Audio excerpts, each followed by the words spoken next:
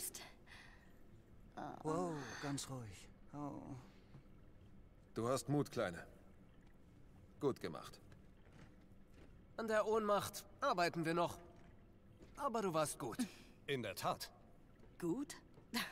Das war richtig krass. Danke. Hey, könnt ihr uns einen Moment...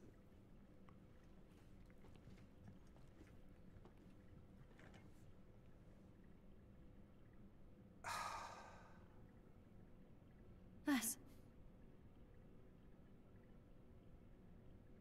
Ich dachte die ganze Zeit, ich sei dein Mentor und ähm, ich hatte aufgegeben. Und was ich eigentlich sagen will, ist Danke.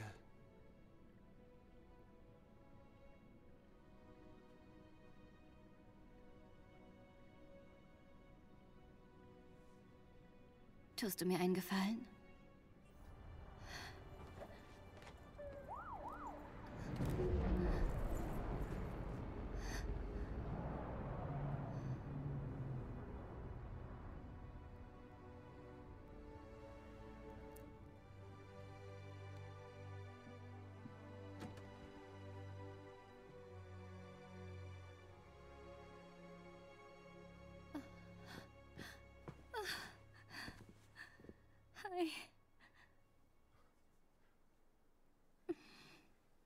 Du hast Hausarrest, bis du 30 bist. Ja, Gut. Ab sofort nur noch Schule. Und deine. deine Spezialausflüge. wirklich? Oh, Abu. Ich bin so stolz auf dich, Beta. Aber wir sagen Ami nichts, okay? Okay. Komm, Haben wir Knabberzeug? natürlich. Ich hab Hunger.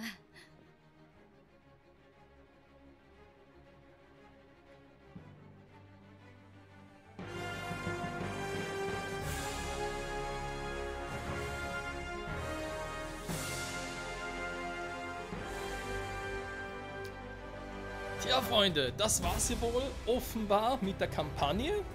Mit einem Ende, was doch ein bisschen überraschend kam. Also meine die Kämpfe und so waren alle geil, gar keine Frage. Vor allem, dass ihr halt dann die Möglichkeit habt, mit jedem Charakter einzeln noch zu fighten. Etwas, was ja sonst relativ häufig ja untergeht bei äh, solchen Spielen, sag ich jetzt mal, wenn man halt so Charaktere hat und so. Daher sehr, sehr geil gemacht.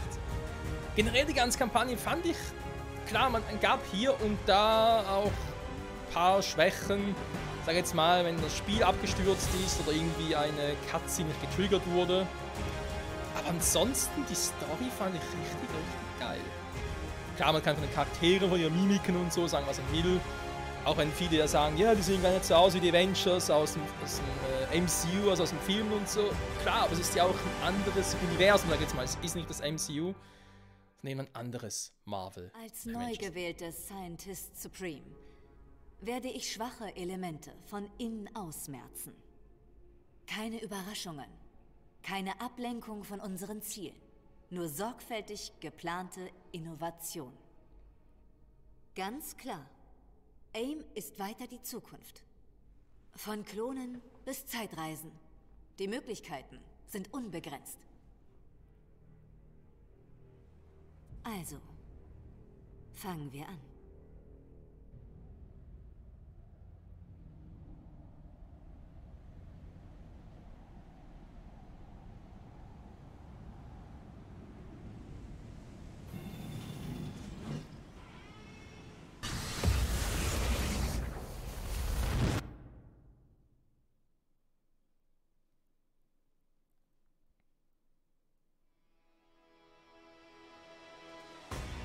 Schön.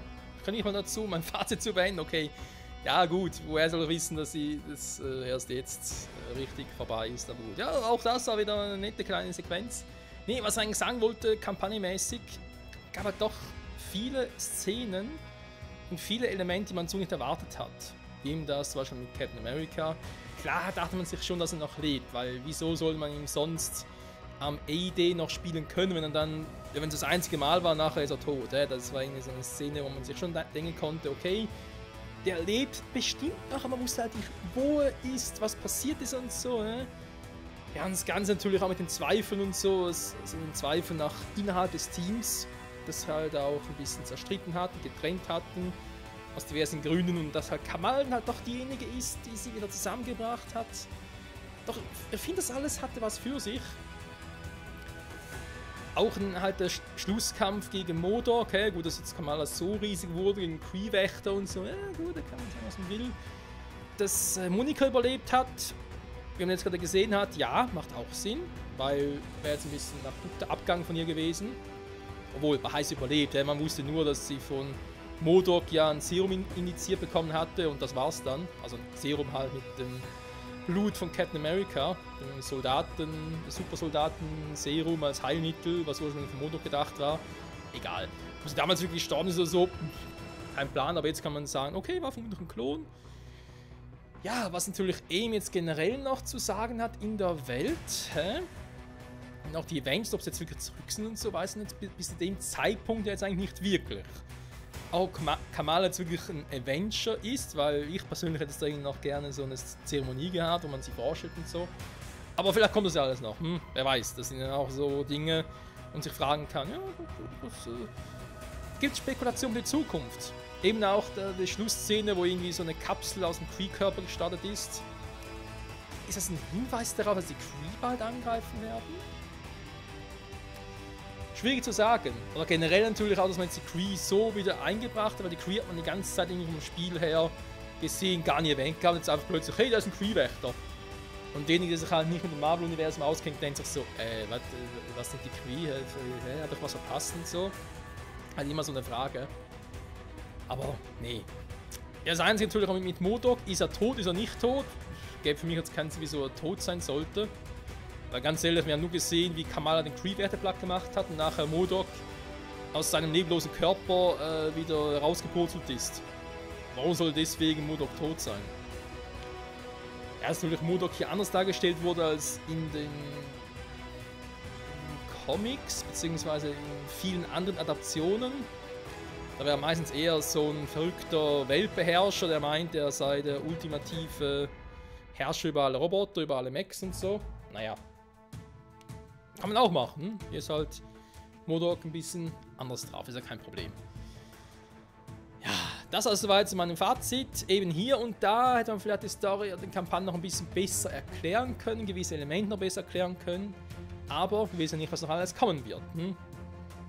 meine, es gibt ja auch, äh, wir haben jetzt vorhin bereits ein paar Mal gesehen, während ich die Kampagne ausgewählt hatte, dass es schon Missionen gibt mit Bishop zum Beispiel, mit dem Charakter.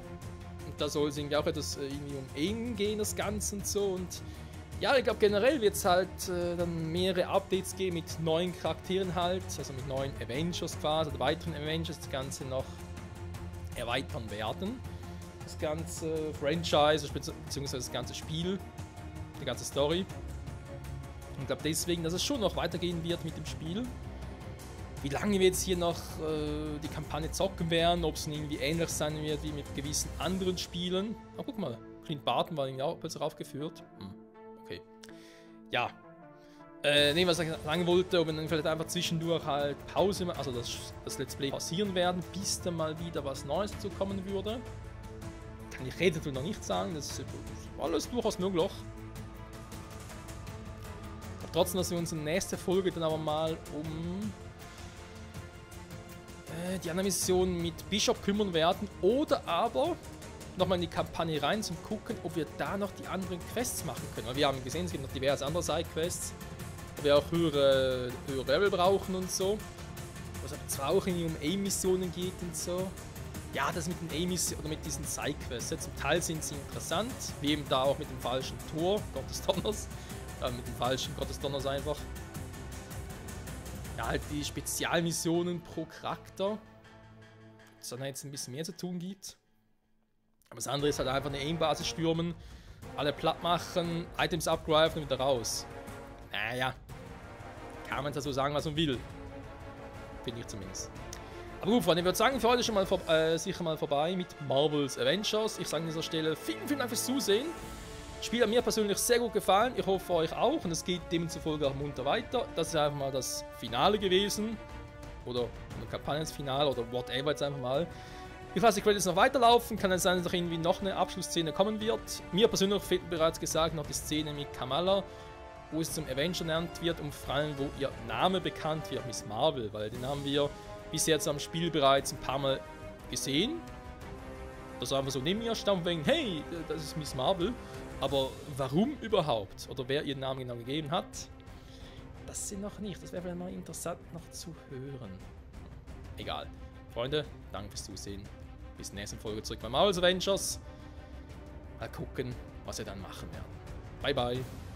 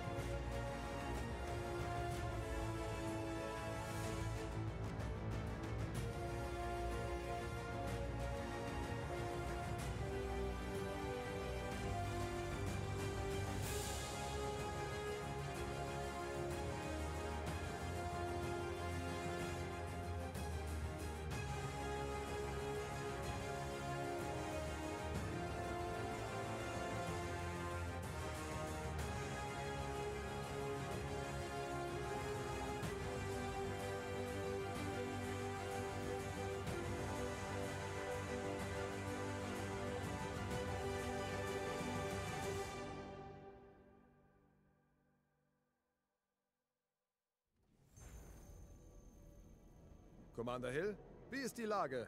Schön, Sie wiederzusehen, Cap. Ich wünschte, es wäre unter besseren Umständen. Aber AIM hat vielleicht einen neuen Anführer. Jemanden mit äh, ambitionierten Plänen für neue Operationen. Ist es wirklich ambitioniert, wenn man Regierung und öffentliche Meinung auf seiner Seite hat? Diese Meinung lässt sich ändern, Tony. Auch wenn wir dafür das Gesetz umgehen müssen. Naja, ich brech gerne Regeln. Shield steht noch auf tönernen Füßen. Aber wir konnten Infos über die Operationen von AIM sammeln. Sie haben seit San Francisco keine Pause gemacht. Und hier wird es seltsam. Unseren Quellen zufolge hat AIM mit Klontechnologie und neuen Synthoids experimentiert. Und wir glauben, dass sie Anwendungen für kosmische Energie erforschen. Ich hatte gehofft, die Klone wären der seltsame Teil. Die Welt braucht die Avengers immer noch. Vielleicht mehr denn je. Sie können auf uns zählen. Gut. Wenn unsere Infos stimmen, brauchen wir jede Hilfe, die wir kriegen können. Einige Leute stehen bereit und warten auf sie. Der Harmraum in den unteren Decks ist wieder online. Sie können also trainieren. Vor uns liegt eine große Aufgabe.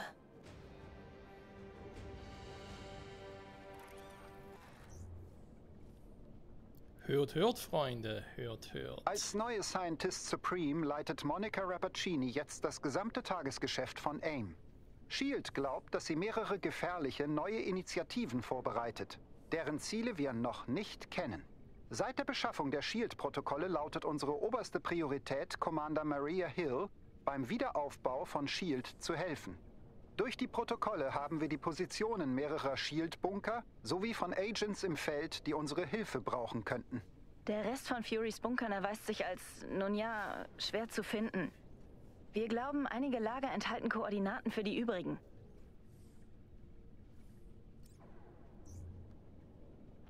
Die Missionsreihe Avengers Initiative ist nun verfügbar. Ist dann verfügbar nach Titan uns zu erkunden. Eine weltweite Offensive ist jetzt verfügbar. Oh. Shield-Gruppierungsmissionsreihe verfügbar.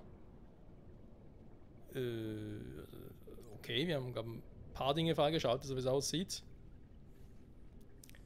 Die Frage ist immer noch unser ganzes Team zusammen. Äh, schwierig zu sagen, wenn nicht alle auf einem Haufen sind. Gut, meine Tasche ist Was natürlich war hier. längste Zeit undercover? AIM ist nicht mal in den Top 10, falls du das meinst. Wer hält den aktuellen Rekord? Das wäre das hier. Natascha Romanoff, Avenger. Uh, gute Antwort. Ja, und auch ein bisschen eine Antwort, die Angst macht. Shield kommt langsam wieder in Form. Aber der Weg ist noch weit. Tja. Es ist, wie es ist, nicht wahr? So, eigentlich wollte ich die Folge jetzt beenden, so, oder? Aber es, es äh, passiert alles Mögliche. Kein Plan hatte und so, ist überhaupt. Naja. Äh, Moment. Was mich jetzt auch mal interessieren würde, was hier jetzt eigentlich abgeht. Operationen sind thematisch verbundene Sets von storybasierten Heldenmissionen, Multiplayer Warzones. Drücke man tatsächlich, äh, um die Operation auszuwählen. Okay. Aim im Visier verfügbar. Neue Operation verfügbar. Äh, Am toll zu beginnen. Jo, danke schön. Ja, würde einfach so gehen, wa? Genau, im Visier ist zwar, wenn man sieht, auch Kampagne. Hm, ist uns verfügbar. Das sind noch 12, das sind 17. Von dem her eigentlich nicht schlecht. Ja, und da ist auch die Avenger-Initiative. Wobei ich es ein bisschen seltsam finde, das als Avenger-Initiative zu bezeichnen. Aber gut, ist äh, äh, eigentlich scheißegal. Die Frage ist jetzt generell, die ich mir so stelle, mit den Missionen hier, die wir jetzt hier offen haben. Klar, ein paar haben wir schon gemacht. Aus dem Schatten, ja, den haben wir ja schon gehört. Aber ist es denn generell so, dass er jetzt die einfach machen kann? Und die haben keinen Einfluss auf äh, die anderen Kampagnenmissionen? Oder wenn ich eine andere Kampagnenmission wähle, kann ich die nicht machen? Denn das hier? Priorität, Harm, Herausforderung. Missionskraft plus. Ah. Ja, leg mir doch am Arsch, ey. Alter, ja, am Harm trainieren ist äh, wäre generell keine schlechte Idee, das stimmt schon. Das ist ein bisschen übertrieben. Alter. Das ist eine krasse Mission, man sieht nicht mal den ganzen Text. Geil. Waffenprototypfabrik. Hm. Also, wir sehen, Leute, es gibt noch ein, ein paar Dinge zu tun. Auftritt die Avengers.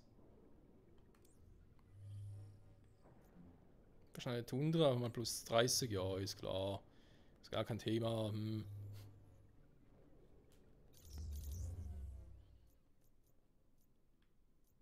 Oberste Herrschaft. Uh, die kommenden Tage. Avenger-Initiative.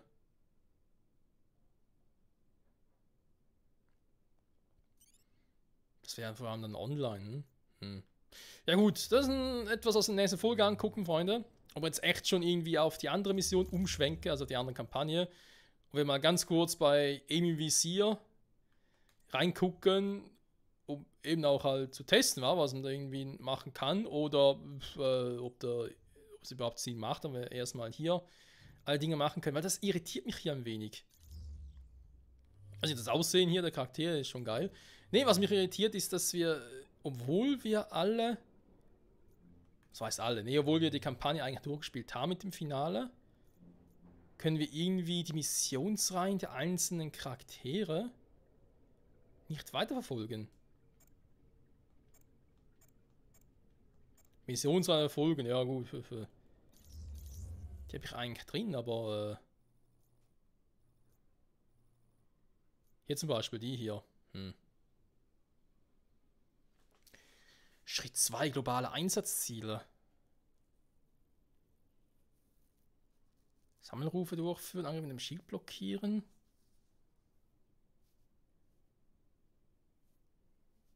Das ist eigentlich schon die Mission sein, das wird soweit stimmen, wa? Den Abschluss und Auftrag neben Human Allianz, neben unserer Gruppierungs-XP sammeln.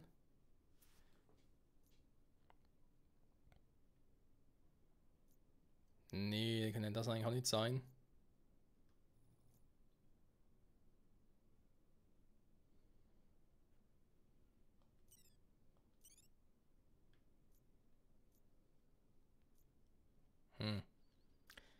Wir sind einfach einzelne Missionen halt. Oder werden die halt erst immer, by the way, freigeschaltet, sobald wir halt die einzelnen Schritte haben. Haben schon mit Tony Stark mal eine Missionsreihe gemacht? So wegen Schritt 1 und so, versteht ihr? Weil wenn wir gerade überlegen, mit Hulk haben wir einen, die ist jetzt als Schritt 2. Jetzt angenommen, ich würde hier äh, aktuelle Einsatzziel mit gegen Powerangriffen besiegen auch noch machen. Also da die drei Stück, die halt noch fehlen für die 12, damit wir die voll hätten ob dann Schritt 2 soweit abgeschlossen wäre und wir dann die zweite Mission mit Hulk machen könnten. Hm, Fragen über Fragen, den wir uns aber nicht mehr heute stellen, Freunde. Nee. Plan bei AIM aufzuhören, wenn es die Avengers wieder gibt? Ich dachte, zu lange können wir nicht wegbleiben. Aber jemand musste die Bälle ja in der Luft halten, bis zum richtigen Zeitpunkt. Das war bestimmt hart, nicht zu wissen, wann das Ende kommt. Auch nicht anders als jetzt. Ja, kann man natürlich auch so sehen, Natascha. Wie einfach weiter quatschen. Egal, ich quatsche auch weiter. Insofern, danke fürs Zusehen, Freunde. Jetzt war wirklich und sage vielen Dank fürs Zusehen. Bis nächstes Mal zurück bei Marvel's Avengers. Wie auch immer, was auch immer wir da machen werden. Bye, bye.